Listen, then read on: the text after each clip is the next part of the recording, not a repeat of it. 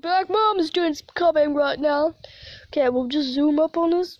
Yeah. Um, so root there, she's coming on. She's gonna put a big. Kind of like a buttress root coming around the rocks. She's gonna be a big tree root Big Um, tree with buttress roots. right there, going up, and with roots shooting off here.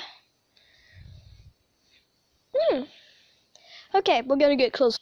Okay, we're back again, and as you can see, we've got this first root going down, and it's gonna curve around here, and we're gonna put more down here, and then there's also gonna be a big buttress root, buttress like a log up here, like there, yeah. So rock wall, more cob right here, and there's mom. Yeah, puppy, Jade. Lost its shape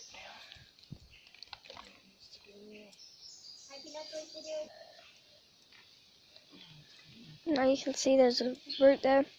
So I said before, the, there's going to be a big trunk up here with roots, with roots shooting off it in every direction, which is going to be cool. So, yeah.